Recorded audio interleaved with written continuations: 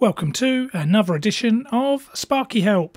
And this time it's the easy guide to how to complete a schedule of circuit details for an electrical installation. Thank you for taking the time to click on this video. I have many years of experience and like to keep up to date with research and developments.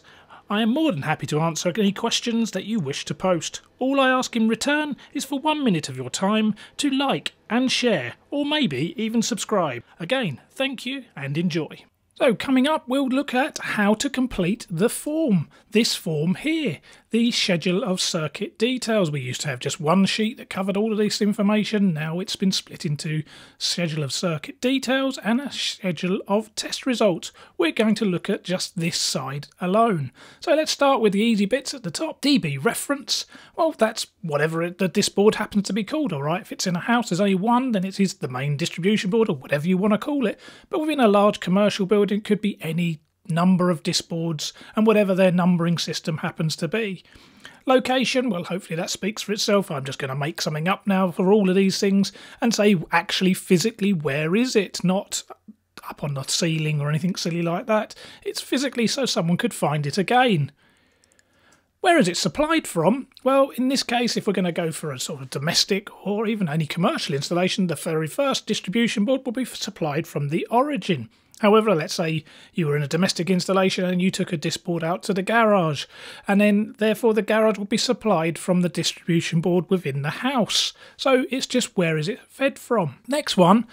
What overcurrent protective device? That's what OCPD stands for. So, what fuse or circuit breaker is protecting this board. So if this is the origin, then I'm going to go for a BS88-3. It could be a BS1361 one or anything else that you happen to be. But remember, if it was within a building uh, or it fed another distribution board from a previous distribution board, it might be just a circuit breaker or a fuse or whatever it happens to be. What type is it? Well, this is a type 2, so we're going to go for that. And then the rating and setting of that protected device that happens to protect that one. So this is the origin. Let's go for 100 amp. SPDs, surge protective devices. What types have you got?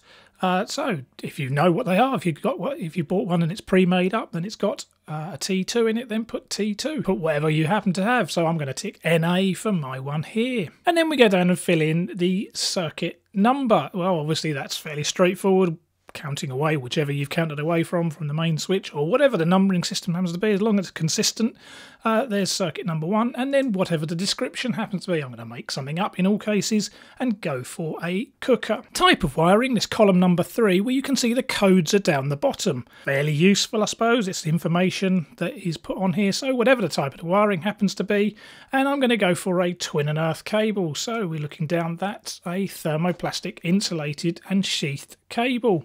So I'm going to put in type A. Now what we have is the reference method. The reference method comes from either the on-site guide or BS7671, which obviously is a guide to. The on-site guide is a guide to that book. So unless you know them off the top of your head, but you can see how the cable happens to be installed. If it's installed more than one method, then what they're suggesting is you put the both methods down that you have to put in. So you need to go and look them up and they come from appendix 4 of the uh, regulations bs7671 by the iet and here's a, a very part of it here. Basically there's about four or five pages of these drawings that have got drawings down the side and written descriptions and then the reference method is on the right hand side of it's a b or whatever it happens to be you can find them from other locations as well. Just before these tables, you've got descriptions. So there you've got reference method C, clip direct, for example. Okay, um, and then it's cable mounted on wood walls, so a gap between the cable is less than 0.3 times diameter, which is clipped directly to it. And so you've got information within that. Or what you can do is go to, again, this is all within Appendix 4 of the regulations. You've got the current carrying capacities of whatever cable that you've already said it is. And if you look along the top here, what you can see are the different columns 1 to 8, and I've just shown a snippet of it. You've got methods of installation. So for twin and earth cable, which is what this happens to be, which what I've suggested, you've got method 100, 101, 102, 103, and then method A, B, and C, which is clip direct. So for ease, obviously I'm just gonna I'm just gonna pick something. Obviously you decide whatever it happens to be, or however it's been installed if you know. And then we put the reference method in, so I'm gonna put type C. Right, number of points served. I've tried to get information from uh, the IET, and they've never answered me on what they clarify as a number of points served. Well, here's what the definition says within BS 7671 Point in wiring, a termination of the fixed wiring intended for the connection of current using equipment. So uh, you'd think that uh, hopefully that would be self explanatory, but current using equipment, whatever that happens to be. So for a cooker, unless you've got two cookers connected to one uh, point, which is possible uh, as long as you're within the regulations, then we're just going to put in number one.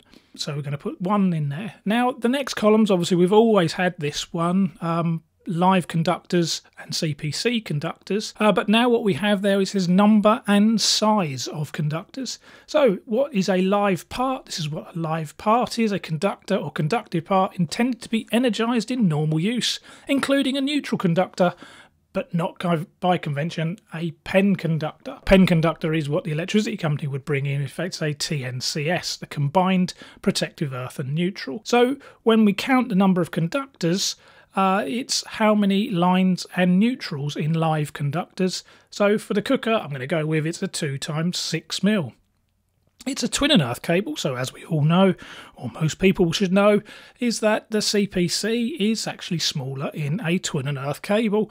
So if you're not sure what they are, here they are. These are what the manufacturers make them to. This is the standard, the British standard to which they make the cables.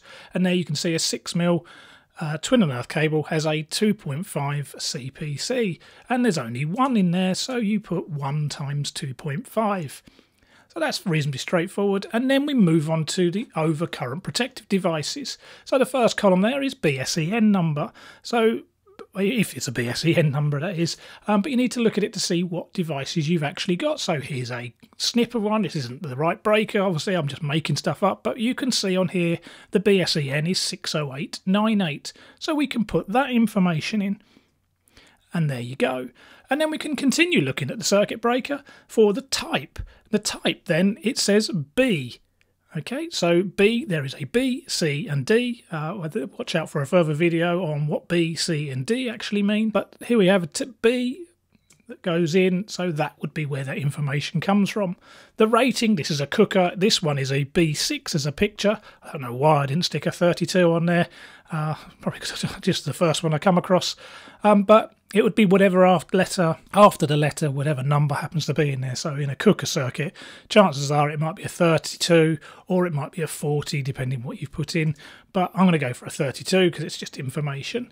And then we've got breaking capacity. The breaking capacity in Ka, so we don't need to put the multiple zeros in. That there you can see on the front of this breaker in the little rectangle on there and it says 6000. Some manufacturers conveniently put them on the side, which is a bit of a pain in the backside if they're pre-installed boards or any board, um, and you just hope they're all the same. Uh, normally isn't a problem domestically, but commercially it could become an issue. But you're checking the break capacity. So all we need to do is put in six. Just so you know, the number underneath the 6003 um, is an energy rating. That covers that part. What we've now got is maximum ZS. The maximum ZS then, where we get that from, is we get that from part four. And in part four, you look up your protected device in BS7671 and you look up the maximum earth fault loop impedance. And we can see on there then type B circuit breaker, BSEN 60898, and RCBOs to 61009. It's got uh, 1.37. So that's what it is in ohms. So that's what you what is required, what the sheet actually says you should put on there. There are notes along the bottom which you can't see, but it should be 1.37. However, that's not very useful when you're actually on site testing and comparing. What you actually want is probably more likely the one from the on site guide. Um, and if you look here, then you can see a 32 amp Type B is 1.1. Why are they not the same? Well, it's to do with the temperature of which they're both at. In the regs book, the top one, they're at 70 degrees, and in the on site guide, they're at 10 degrees. When you test, you're more likely to be down in those lower temperatures and the conductor this is, and obviously the conductor will probably warm up to the ambient temperature of the room, but the 70 comes into play when the cable is up and running and current passing through it. And as we know then, copper has a positive temperature coefficient, so when you heat it up, its resistance goes up. My personal opinion, I would probably put the on-site guide one in and therefore put a 1.1. is what I'm going to go with. What you must also do then, this sheet requires, and there are again there are notes at the bottom of the sheet if you was to look, you just have to make a note somewhere on this form. Um, it could be in the comments or at the very beginning where those ZS values come from, so people wouldn't apply a correction factor necessarily, so at least they know what temperature they're at. There's a note to be required. Um, if it was an RCD, then obviously you would put information in, we'll cover that in a second. So that covers that part. Let's go for another circuit. Let's look at one for an RCD. So let's go for number circuit number two, a ring final, and this time it's going to be a type A again. We'll go for clip direct, and the number of points well, that goes to number of socket outlets or points of current using equipment. What you don't do is count double sockets as two, they're still counted as one. So I'm just going to make a figure up. There are eight sockets on this particular circuit. Number of conductors, well, it's a ring final, so number of live conductors, there are two lines and two neutrals, so it's 4 times 2.5. How many CPCs are there? Well, there are two cables, so therefore it's 2 times 1.5. Because they're sockets, we're going to make them RCBOs. Apologies for the blurry image, I didn't really notice it.